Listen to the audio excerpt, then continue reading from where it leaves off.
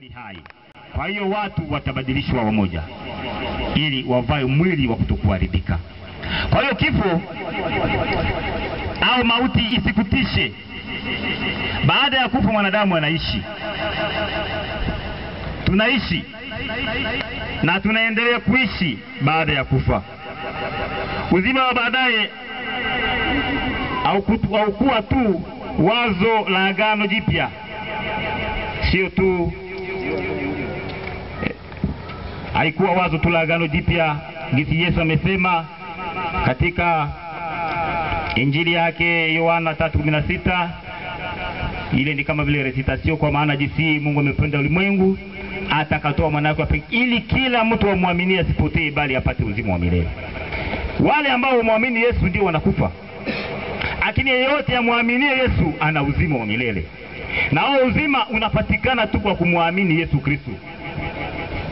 Kuna wengine imani potofu inawachanganya watu na kusema ya kwamba baada ya kufa pana sala ya kuokoa mwanadamu ama pana ibada ya wafu ya kuweza kumsaidia mtu.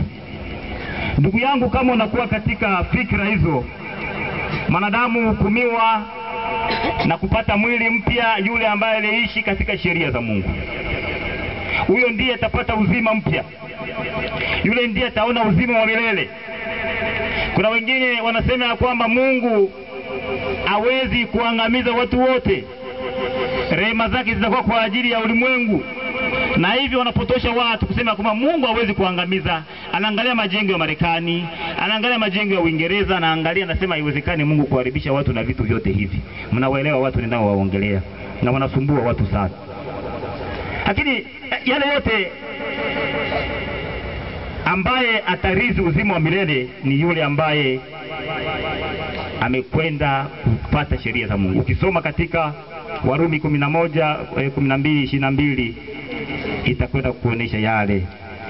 Tusome Warumi inasema nini hapo. Ninawasihi tu, sitachukua muda sababu tunakuwa na hewa ngumu. Hii ni heshima ya mtu wa Mungu, sitakwenda mbali sana. Kinaomba kwa heshima hii, kama vile Zaburi anasema kwamba iko hajaona kuona kitu kikubwa kama vile maiti ya mwenye mcha Mungu inakuwa na heshima. Tunasoma Warumi, tuone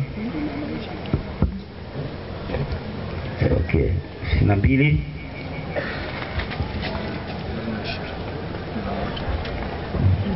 Warumi kumi na moja ishirini na mbili kumi na moja ishirini na mbili Warumi nasema nini?